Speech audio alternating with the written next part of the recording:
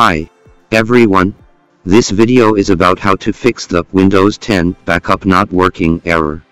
Case 1 of Windows 10 backup not working is Windows 10 file history not working. Here are three situations and corresponding solutions. Situation 1 is Windows 10 file backup not working and there are two solutions. Solution 1 Change the startup type of file history service and Windows search.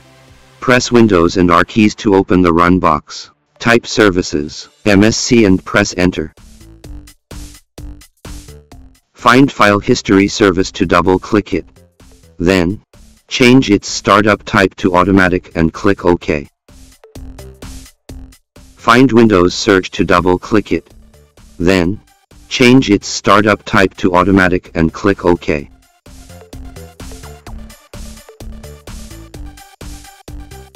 Solution 2 Disable and enable system protection. Type Control Panel in the search box to open it. Go to the on-screen path.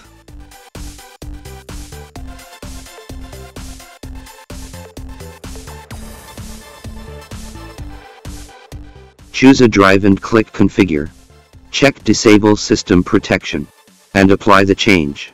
Then, turn on System Protection again. Situation 2 is Windows 10 backup not backing up all files. The solution for this situation is to use Control Panel. Type Control Panel in the search box to open it.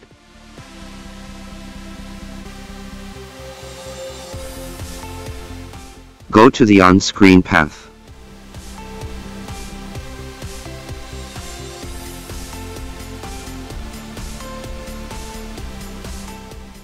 Set Keep Saved Versions to Forever Default and click Save Changes.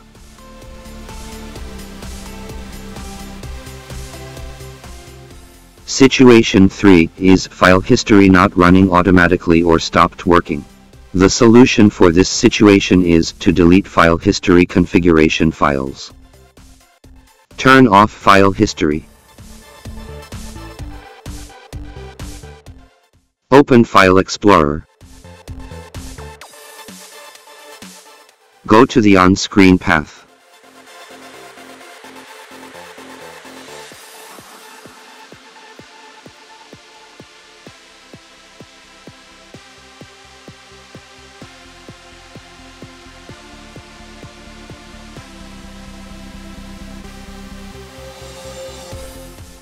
Delete its configuration files one by one.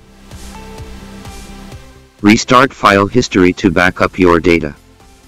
Case 2 of Windows 10 backup not working is backup and restore Windows 7 not working. The solution is to try Minitool Shadowmaker. After downloading Minitool Shadowmaker, launch it. Click Keep Trial to use its trial edition. Go to the Backup tab. Click the Source part to choose the backup source and click OK.